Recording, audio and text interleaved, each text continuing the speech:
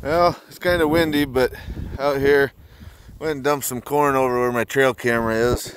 And uh, trying to see what we got running through here. Turkey season's coming up. Uh, trying to get a view on the deer we got in here too. I just saw a group of six, what looked like does, went running down into the timber. But I decided to walk down here and coyote track.